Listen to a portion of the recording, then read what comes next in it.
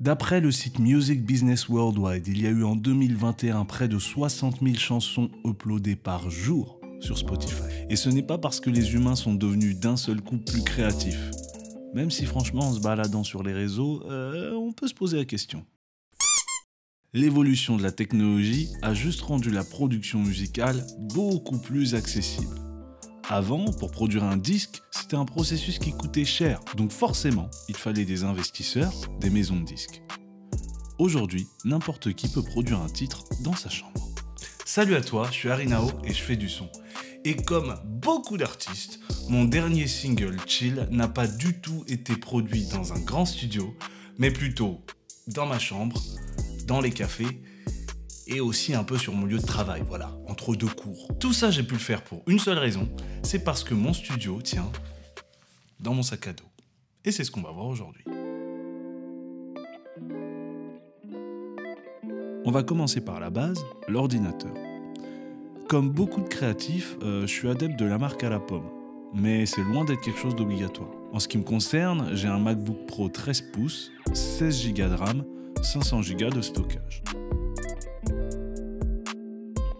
Je l'ai acheté que récemment, en juin 2020, et avant, j'avais un iMac. Mais comme je te l'ai dit au départ, j'avais vraiment envie d'une machine portable pour pouvoir créer n'importe où.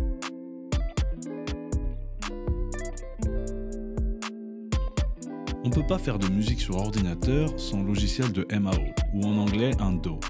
Dans mon cas, j'utilise Logic Pro 10. C'est un software qui fonctionne aussi sur Apple uniquement. À la base, je travaillais sur GarageBand, donc le logiciel gratuit installé sur tout Mac. Logic, c'est une version ultra améliorée de GarageBand, et donc contrairement à GarageBand, c'est payant.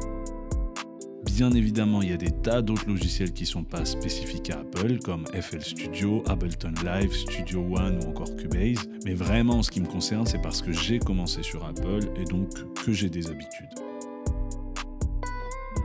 Vient ensuite la carte son. La carte son, c'est l'interface qui permet de faire le lien entre l'ordinateur, le micro et ton système d'écoute.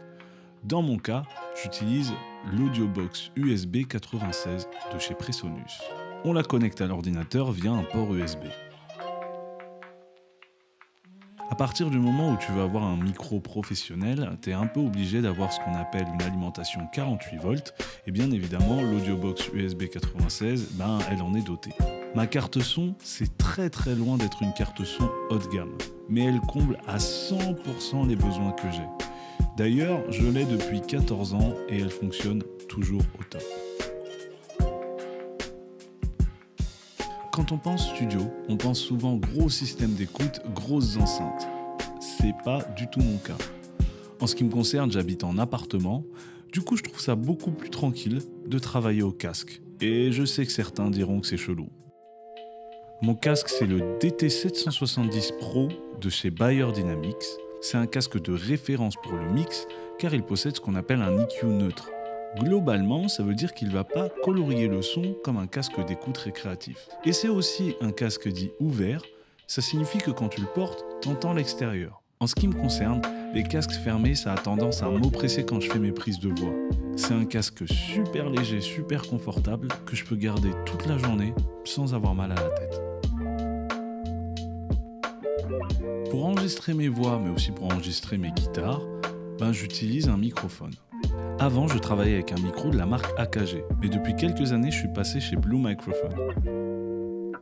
Dans mon cas, j'ai plusieurs micros en fonction des situations. Pour commencer, j'ai un Blue Raspberry. C'est en fait le micro que j'ai tout le temps dans mon sac. Je l'utilise seulement à l'extérieur. Quand je fais une session avec un pote ou quand je fais ma musique au travail.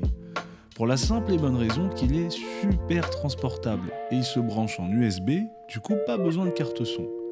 La qualité d'enregistrement c'est impressionnant pour un micro de cette taille, mais je fais pas de voix finale avec je l'utilise vraiment simplement pour enregistrer des idées ou des top lines. En ce qui concerne les voix finales, du coup, ben, on a deux micros à la maison. Le premier, c'est le Blueberry et le deuxième, le Bluebird, toujours de chez Blue Microphone. Le Blueberry est beaucoup plus haut de gamme que le Bluebird. Mais après avoir testé les deux micros un bon nombre de fois, ben, je préfère le rendu de ma voix sur le Bluebird plutôt que sur Blueberry. Du coup, c'est celui que j'utilise tout le temps. C'est donc avec tout ce matériel que j'ai produit et enregistré mon dernier single, Chill.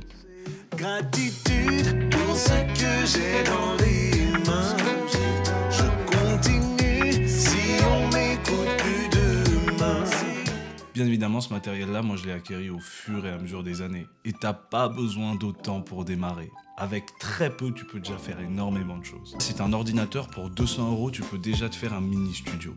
En vrai, là, je te parle d'ordinateur, mais il y a un artiste qui s'appelle Steve Lacy qui a notamment bossé avec J. Cole et Kendrick Lamar, hein, qui a produit son premier album entièrement sur son iPhone. Le monde est fou. Orelsan, il a dit pour filmer, t'as juste besoin d'un truc qui filme. Et ben, pour euh, faire de la musique, en vrai, t'as juste besoin d'un truc qui enregistre. Du coup, tu commences quand? Gratitude pour ce que j'ai dans les mains. Je continue si on m'écoute plus demain. Je me fous du but, moi je kiffe le chemin.